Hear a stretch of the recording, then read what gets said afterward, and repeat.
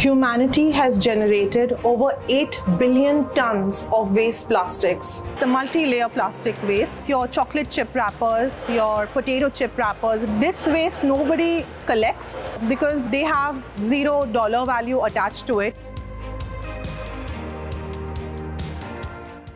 Waste once collected needs to be you know created into products that generate enough value so that the entire value chain is uh, sustainable. A problem of this magnitude is not easy to tackle. Ricron solves that puzzle for the waste management industry by offering its patented solution to convert it into high quality building material.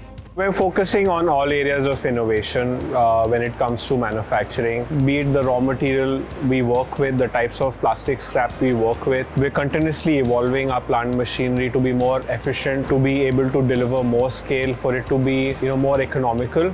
And we're also continuously innovating our products so that we're able to meet those specific challenges that other materials are not able to solve. They're high strength materials, zero water absorption, uh, very high nail screwing strength, high tensile strength. They're superior alternatives to plywood.